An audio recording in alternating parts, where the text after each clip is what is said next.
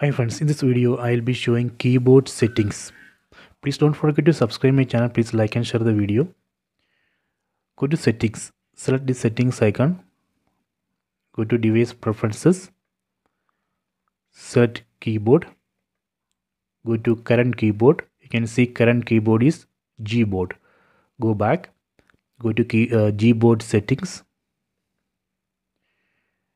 So here we can see languages select languages.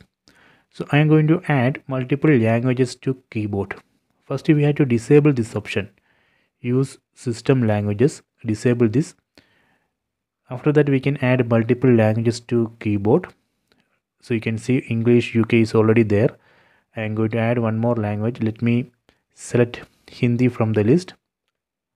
Done. So now I have enabled two languages English UK and Hindi let me test it. Go to home screen. Go to search.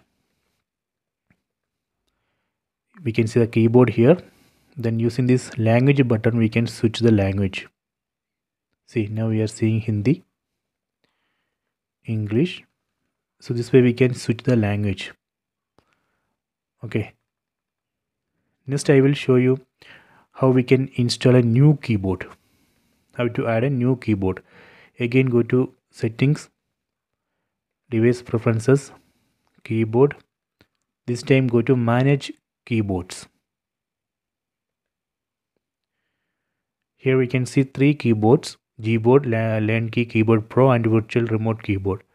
LeanKey keyboard pro. This is a keyboard which i installed from play store. We can just search this name and install from play store. Let me enable it.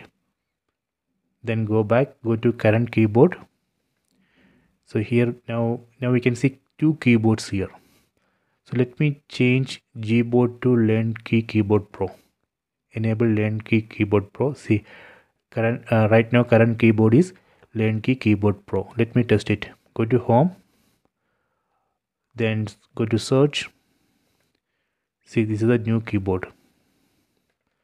This way we can install new keyboard so now we have learned how to add multiple languages to keyboard and how to install new keyboard. So please check it